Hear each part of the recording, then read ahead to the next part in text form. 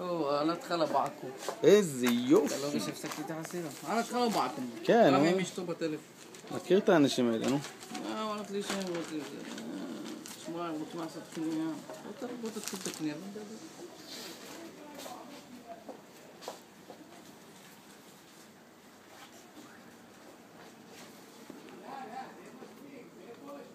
אליהו, מה הדבר הזה? מה מה עושים בדבר הזה?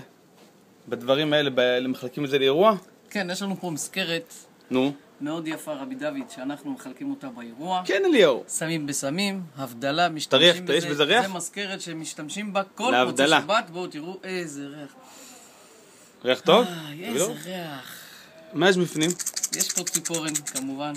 ציפורן זה אחד הפסמים הטובים של להשתמש בזה במוצאי שבת. הכיתוב שלכם, אפשר להביא אותו פה כמו שאתם רואים. יפה.